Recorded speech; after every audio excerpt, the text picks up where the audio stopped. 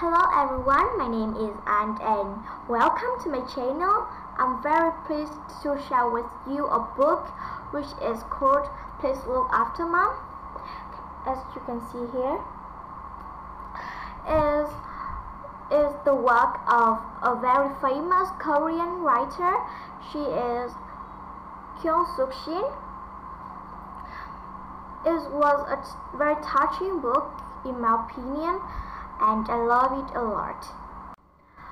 The book is about a woman who is called Sonia. She is a wife and a mother to five grown-up children.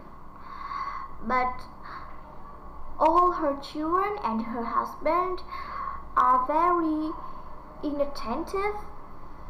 They always think that taking care of the family or spending all day in the kitchen is her duty and they never care about it.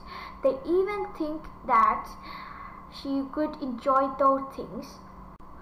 One day she went missing at Seoul subway station and all of the members in the family was very worried.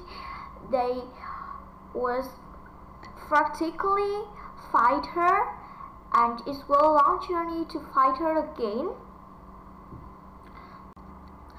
During the searching time, they realized that their mother was always behind them, sacrificing them.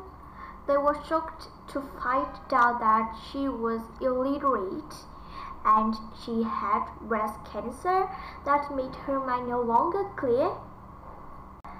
I am quite disappointed with um, Sonia's family and sometimes I am frustrated by Sonia's husband. He's really a bad guy. Although, although his wife is getting lost, he doesn't care about her and even cheating on her too. There are five parts and it's quite long, I think, but it's very well worth reading. This book was just very good. It helped Miss Shin to be the first woman who win the Man Asian Literary Prize in 2012. As you can see, this is the, the English version of the book. Was given it by a by a friend so I don't know where to buy it but I think there's a lot in the bookstore. If you can find and read it I sincerely hope that you will let me know about how you feel about the book. Thanks a lot for watching my video